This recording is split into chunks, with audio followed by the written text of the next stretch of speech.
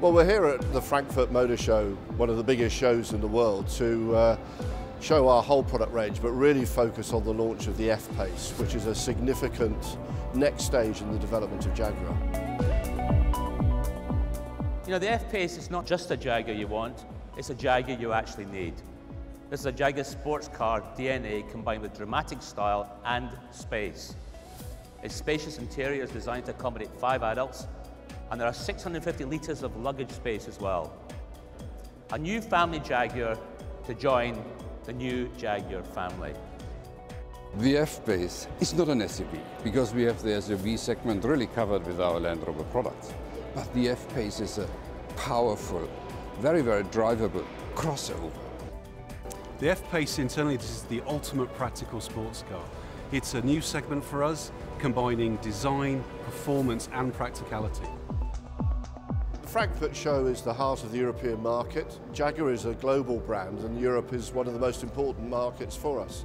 Our sales have increased uh, nearly 20% year on year, so it's really important we show our product range, both Land Rover and Jaguar, with confidence. The Discovery Sport was launched earlier this year and global demand has been strong. It's available in 80 markets and we have sold over 30,000.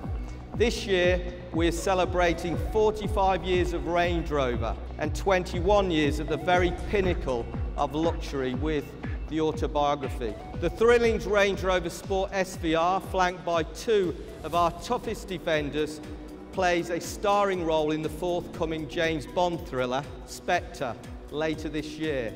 Land Rover is on a journey of transformation. We're a company made up of passionate experts, creating vehicles of desire and immense capability. Well, the customer is really important and both Jaguar and Land Rover customers uh, have very sophisticated demands and we're investing billions of pounds in new technologies. Our customers are not just buying a car. We offer a lifestyle that empowers them to go above and beyond, to feel the seductive performance and create moments which feed the soul.